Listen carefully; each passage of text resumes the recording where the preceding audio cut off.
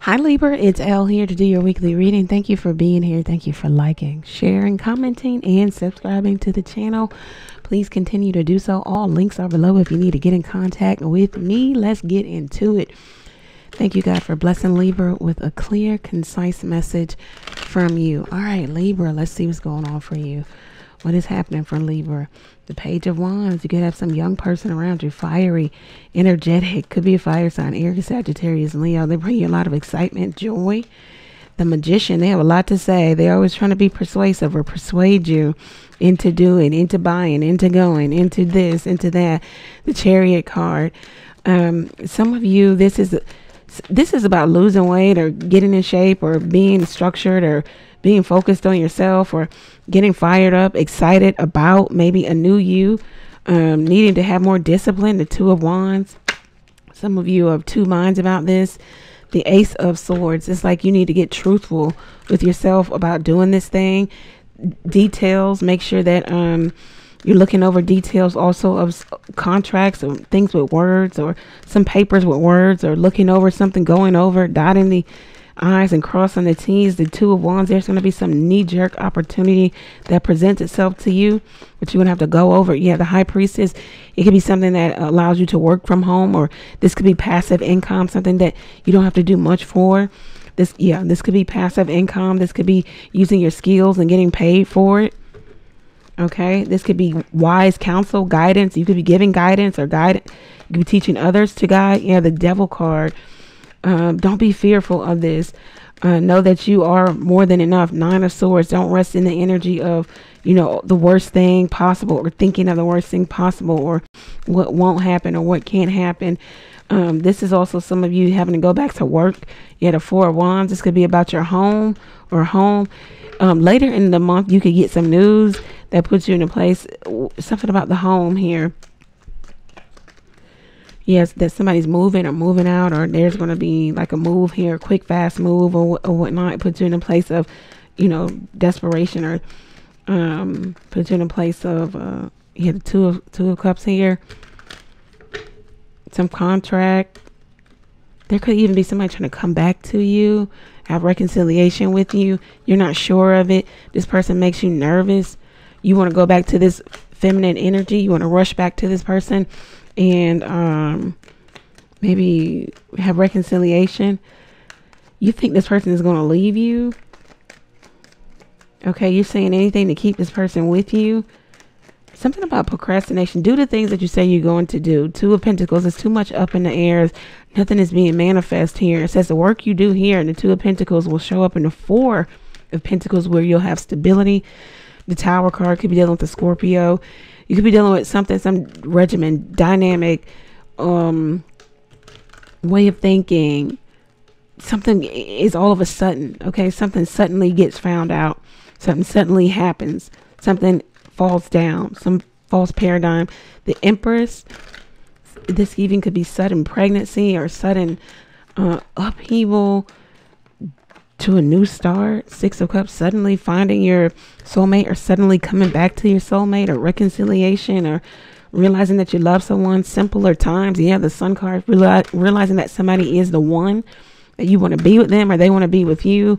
This person brings you a lot of happiness and contentment. This could be your person. You could be realizing that. On the Seven of Pentacles, maybe you guys had some time apart where you were not together and um, but you knew it wasn't over you were thinking about this person, you were frustrated with how things were going, but you knew that you would come back together eventually. The Queen of Swords.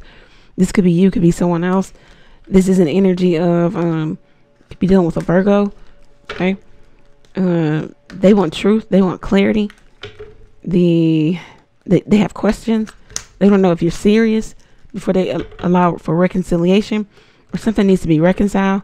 They want you to ask answer all these questions or they have to ask you all these questions yeah, before we start this again, the Eight of Pentacles, before we go through this cycle again, before you move in, okay, Four of Cups, the Five of Swords, before you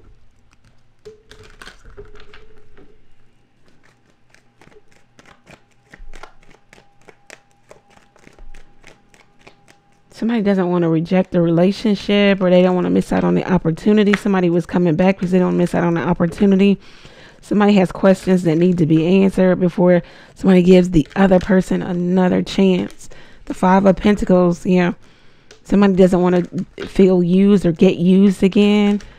Um, they don't want reversal. Yeah, th this could be you. Somebody doesn't want to get used by maybe you, Libra.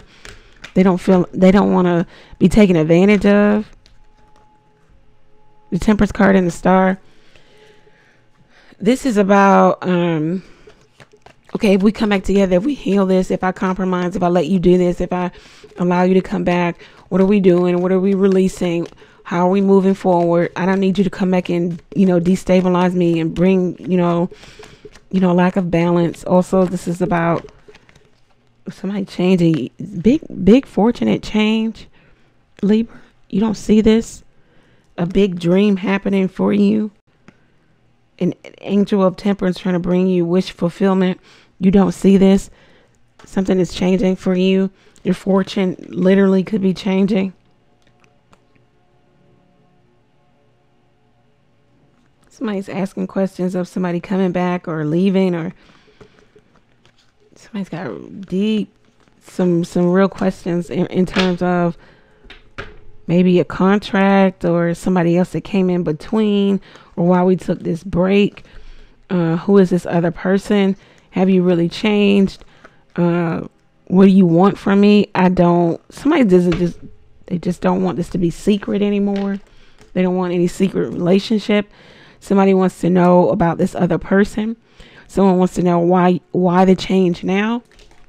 Why the change of mind? Someone was not realizing that uh, the other person, either you Libra or your person, was the one, the soulmate, a high level soulmate, the person that they're supposed to be with. Somebody cut somebody off, and now it's about making amends to come back. But the other person is saying, We've been here before, so what is going to be different about now? So I have questions. I need answers. If you can't give me that, I might have to stop you at the door. No, you cannot come back into my life. That's what the reading really primarily says. Also says some of you need to get serious about maybe your regimen, your routine in regards to your health and losing weight or some goal here or maybe even travel.